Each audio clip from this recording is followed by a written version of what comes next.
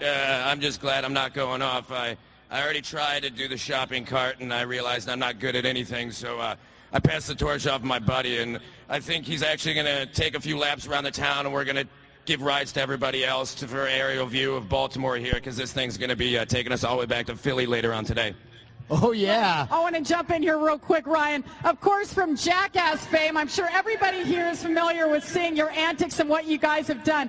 Now, we're looking at what you guys built, your craft here, but you've done this before. Take us through it. What'd you build before? Well, uh, I didn't build it before. I just put rockets on it. So it was a lot easier. This time we had to work with aerodynamics, and well, I'm an idiot, so that didn't work out. So now we got PVC tubing and fake uh, velvet. So uh, I'm hoping that brings us aloft and uh, gets us up into the substratosphere, and we'll just hang there for a little bit and check out the ongoings. The substratosphere. Well, real quick, let's take a look at the video. What happened when they had rockets attached to their cart?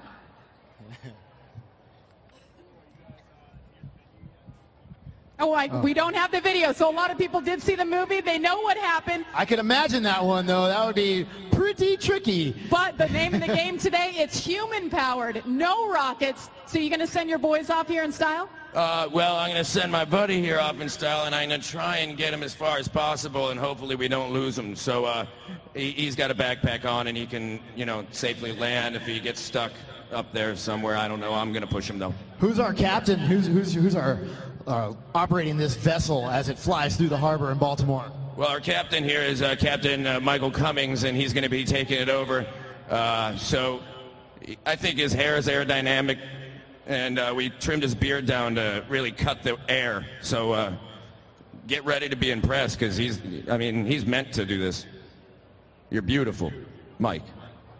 How about this crowd? Everybody's eagerly awaiting our first craft, ladies and gentlemen, about to take off. They are going to set the mark for the day.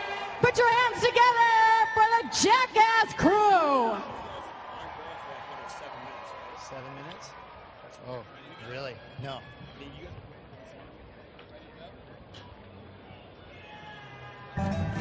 All right, Michael.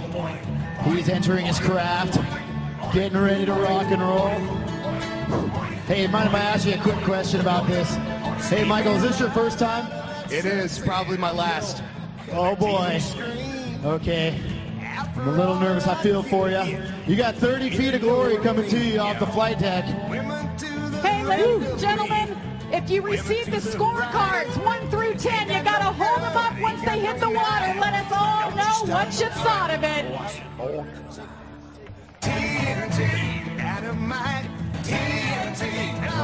Put your hands together.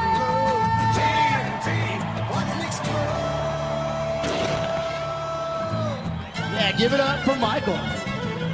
He's putting his life on the line here. He's going for it. 30 foot plunge. I don't know, Miles. There's no backing away now. You know, it's like one of those cars. You, you wheel it back and it gets a bunch of wound up. Let's do it! Oh, and they're rolling. Rolling. Woo! He can go high. He can go far.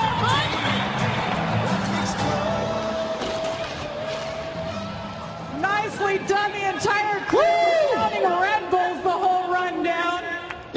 Give us a wave.